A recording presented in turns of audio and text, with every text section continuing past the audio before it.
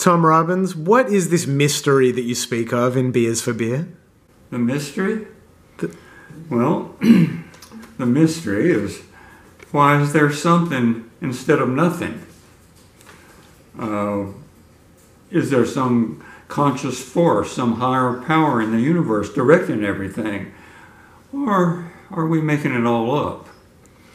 Uh, is there a, if there is a higher power in charge, what is its nature? What is its end game? Its ultimate goal? Does life have meaning? Or do we impose meaning on it? And why should it be important to us that it be meaningful?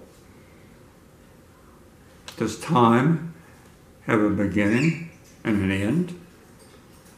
Does consciousness, our soul, if you will, survive our death? And finally, which came first, the chicken or the egg?